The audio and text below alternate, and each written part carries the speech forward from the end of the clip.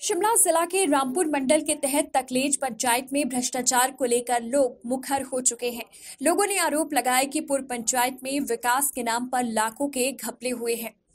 साथ ही सप्लाई से जुड़े विभिन्न सामानों का एक ही ठेकेदार की ओर से फर्जी बिल लगाए गए हैं।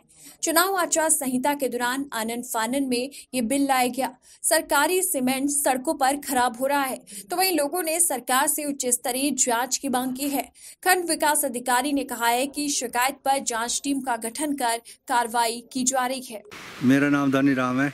हाँ जी। तकलेज पंचायत का स्थायी निवासी हूँ और यहाँ जो सीमेंट उतारा जाता था वो खासकर कामों में नहीं लगाया ये ऐसे ही जाते रहा यहाँ से जैसे यहीं इस पॉइंट से ही। तो अभी भी यहाँ पड़ा हुआ है अभी तो इसका कोई मालिक नहीं है कि भाई ये मेरा है तो को, कोई आज तक नहीं आया यहाँ तक। लाइट है लाइट है आई उस रात को इन्होंने नौ बजे आठ बजे इन्होंने लाइट दी। मैं भी आया था मैं मेरे को भी लाइट चाहिए मेरे को लाइट नहीं दी।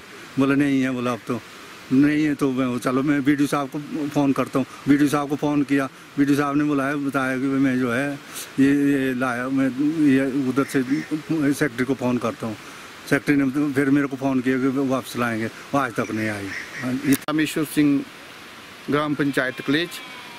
यहाँ पे जो शरण में सामुदायिक भवन बना बनने के लिए पैसा आया था वो अभी तक ना बना ना वहाँ पे कोई मटेरियल है ना ही कोई जगह का चैन है। और ये पैसा जो है 2017 में आया था और पिछली पंचायत ने पिछली पंचायत के टाइम में 2017 में इसका पैसा आया था। तो वो मटेरियल मटेरियल वहाँ पे कुछ भी मटेरियल नहीं है।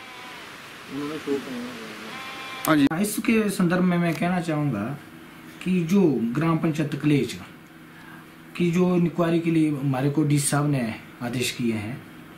उन्होंने बोला कि इसको जो है आप शीघ्र शीघ्र जो इंक्वायर करके जो मैटर है वो मेरे समक्ष उठाया जाए। तो हमने इसके लिए जो कमेटी गठित कर ली है जी, उसमें पीआई समाज शिक्षा एवं खंड योजना अधिकारी व कनिष्ठ अभियंता को उसमें गठित किया गया है और मैं भी उनके साथ खुद वहाँ मौके पर जाऊँगा और उनके जो भी होगा उसमें दोषी पाया जाएगा। उसके खिलाफ कानूनी कार्रवाई अमल में लाई जाएगी। मैं सुनील गायत, व्यापार मंडल तकलेज का प्रधान हूँ। मैं आज से पहले भी जो यहाँ पे पहली पंचायत थी, उसके खिलाफ काफ़ी आवाज़ें उठाई है। यहाँ पे बहुत ज़्यादा घोटाले हुए पहले से ही। ये जो सीमेंट है, ये भी हमने फेसबुक के माध्यम से उजागर किया था। रात को हमें कहीं से गुप्त सूचना मिली कि यहाँ पे सीमेंट रखा है। तो उस दिन रात को हमने, बल्कि हम पुलिस चौकी भी गए, उन्होंने हमसे कहा कि इसको वो संभाल दे तो भाई उसके बाकी हम इसको कुछ नहीं कर सकते। तो जो पहले वाली मेंबर थी, उसने कहा कि सीमेंट मेरा है, मैं इसको उठा दूँगी। तो मेरे हिसाब से आज को शायद सोलह की बात है, सोलह के बाद अभी तक ये यहीं पड़ा है, ना इसको किसी ने उठाया है, और आधा शायद खराब भी हो चुका है। और जहाँ तक घोटालों की बात है, मैं पहले से भी यहाँ के घोटाले उजागर करता आया हूँ, परंतु यहाँ किसी ने साथ नहीं दिया, इस करके सब कुछ धरा का धरा रह गया। मैं काफ़ी बार यहाँ के घोटाले महत्वपूर्ण, मैं देखिए जो यहाँ पे टाइल्स इस बार ये आई है, इससे पहले जो चक्का था, वो यहाँ के लिए आया था। छः सात रुपए की टाइल, पच्चीस, छब्बीस रुपए का बिल पंचायत वालों ने लगाए हैं। तो इसके अलावा यहाँ पे बहुत चीज़ें ऐसी है, जैसे बावड़ियाँ हैं। बावड़ियाँ मतलब मेरे हिसाब से हर बावड़ी पे पचास से एक लाख रुपए खर्चा किया है। जबकि बावड़ी पिछली पंचायतों ने बनाई है, उसके बाद से इन्होंने कुछ भी नहीं किया। उसके ऊपर दो चार टाइल्स चिपका के कि हमने बावड़ी बना दी है। उसमें पूरा पचास हज़ार खर्च खत्म। जो क्रेट वॉल्स लगाए हैं क्रेट वॉल्स हाल ही कहीं तीन या चार लगे हैं, पाँच ही लगे होंगे, बाकी उसका पैसा सारा गायब। और उसके सीमेंट का तो कहना भी कुछ नहीं है, एक बार हमने बल्कि पकड़ा भी था, काफ़ी ज़्यादा लाइव हुआ था वो। इस पर कि यहाँ हमने साथ में घर में सीमेंट पकड़ा, जो यहाँ तत्कालीन मेंबर था उसने बेचा था मिली भगत सबकी थी तो उसका भी कुछ नहीं हुआ। हम आवाज़ें उठाते रहते लेकिन आज तक किसी ने भी नहीं सुना है, बल्कि लाइव दिखाया, लाइव दिखाने के बावजूद भी ना तो कभी प्रशासन जागा है, ना मतलब पहले जो कांग्रेस गवर्नमेंट वक्त भी था, किसी ने कोई इसके खिलाफ ना हमारी सुनी, ना आज तक कोई हमें इसका मैं ग्राम पंचायत तकलेच का निवासी हूँ। ये जो पिछली पंचायत थी, इसमें जो है कोई करोड़ों रुपए के घपले हैं।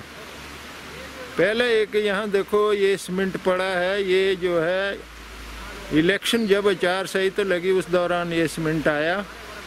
यहाँ कुछ उतरा, यहाँ से कई और बाहर गया, कई जगह गया सीमेंट वो जो प्रधान है, उसने अपने चेते को ये सीमेंट दिया क्या बिक्री के लिए था। अब बताओ, ये दिसंबर से लेकर अभी तक ये सीमेंट यहाँ है।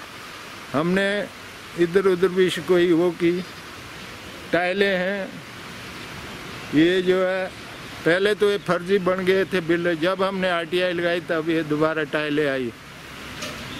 टाइलें आई, आठ रुपये पचास पैसे की।